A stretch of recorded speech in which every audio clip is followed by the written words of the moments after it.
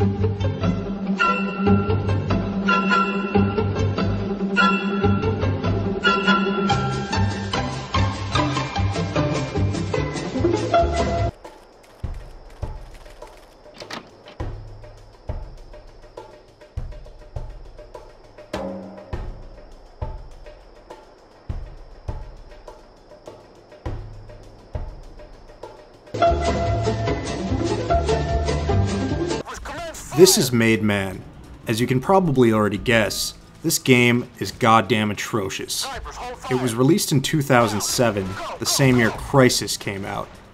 Made Man functions like a normal third person shooter with a few extras.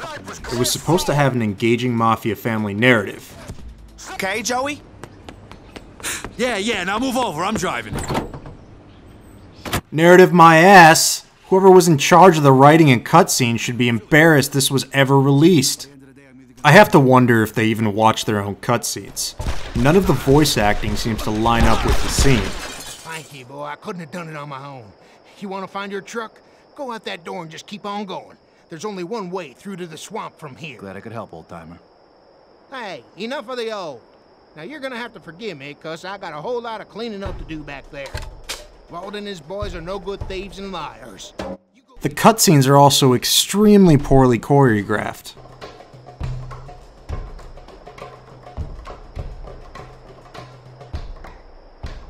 If the fucking inbreds thought I was gonna go running under a hanging car while they were at the controls, then they were even more stupid than I thought. Okay, stop right there. Look at this shit. He's standing in the frame. What was the point of this scene? They can clearly see him standing there. Just before my tour had started. He liked to talk, and since I'd been alone on the road for days, it made for a change. Besides, the waitress Doris wasn't entirely unpleasant on the eyes. They try to inject lines like these throughout the entire game.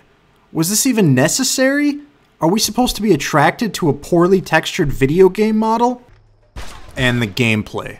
Holy shit, the gameplay. The cover system is hilariously bad. You can stick to anything. There's no regenerating health, thankfully, but you never have to even use the cover. You can just go all out guns blazing and almost never die since the enemies do so little damage to you. The AI is an absolute joke. Most of the time they'll just stand there in the open taking pot shots at you and shrug off shots as if they're BB guns. This swamp level in particular was dreadful. You move so damn slowly in the water and you have to fucking deal with alligators that blend in with the background. I'm not making this shit up. This game is a mafia family driven narrative with alligators. The melee in this game is fucking hilarious. There's no friendly fire, so you can just go around whacking people.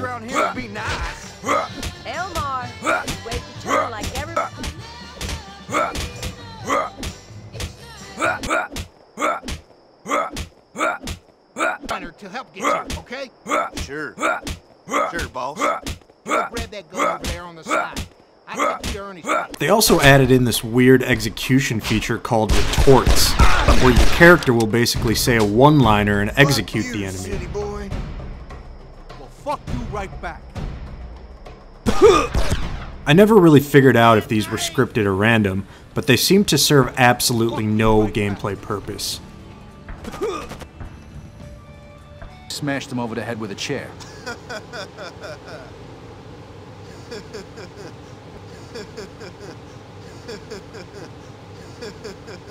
Some of the level design is just so poorly thought out. Take this level for example. You come to this door and find out that it's locked. The game forces you to backtrack to a dead end to pick up a sniper rifle, which in turn spawns enemies and opens the door. Do you remember that hanging car scene? That's the only reason I could think of them wanting to do this. And no, the sniper isn't even remotely useful. It comes with 7 shots that you use up almost instantly. Some of this other shit doesn't even make sense. Yeah, I'll be seeing you fellas.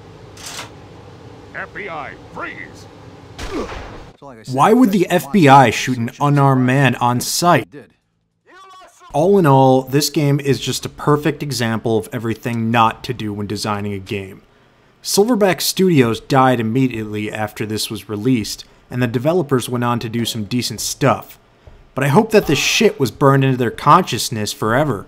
Find the truck and I was in the clear, but as usual, things didn't go that easy.